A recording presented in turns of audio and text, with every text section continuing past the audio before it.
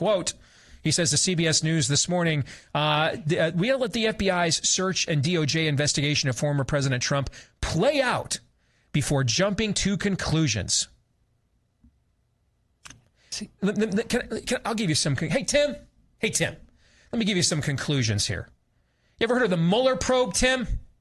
I did that whole let's let it play out before jumping conclusions. Remember those mm-hmm. shows in 2017? Yeah, we did. Good times, man. Good times. And here's what we got. Okay, what we got was a Mueller probe that proved the entire thing was a, was made up. Actually convened a U.S. attorney in the in this one of the districts in New York, and the only person who went to prison was Michael Cohen.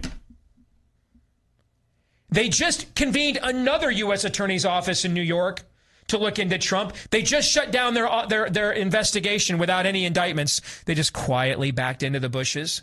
So they got all the screaming headlines, US Attorney's Office investigating Trump in New York.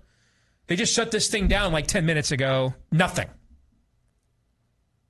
We went through an impeachment over whether or not he tried to convince the Ukrainians to give him dirt on Joe Biden.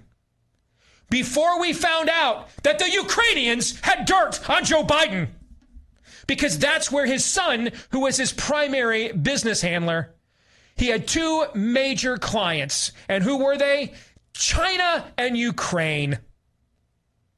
So, Tim, dumbass, pardon me, if we're not at the point of jumping to conclusions, brah,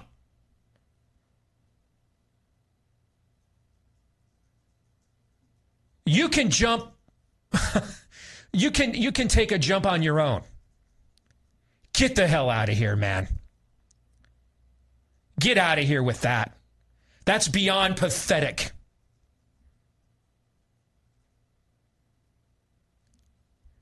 Let it play out. We've been letting this thing play out for five damn years.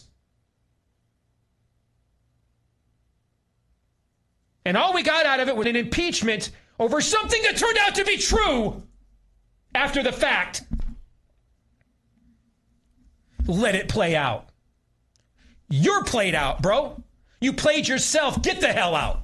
Get the hell out.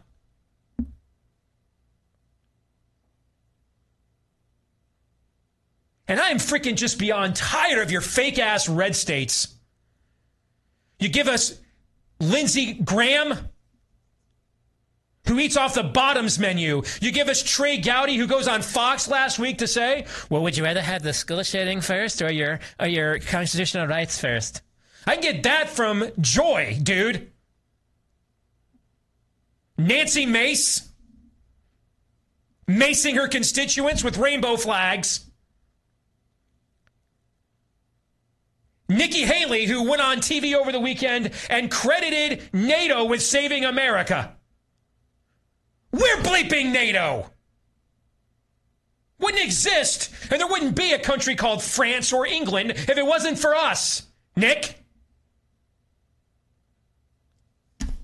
And now, Tim, let it play out. You thought you would have thought you guys would have gotten like one of these right. One. How the hell did Mr. How did quintessential red state South Carolina miss on them all? Gosh, we're a joke, and we just suck at this. We're fake news. I hope you enjoyed CPAC Dallas. Goodness. If you enjoyed this video, hit like and subscribe to our channel so you'll be sure to see similar videos from Blaze TV with the added bonus of signaling YouTube that your voice and opinion still matters. And if you're looking for more great conservative content, check out one of the two videos suggested here.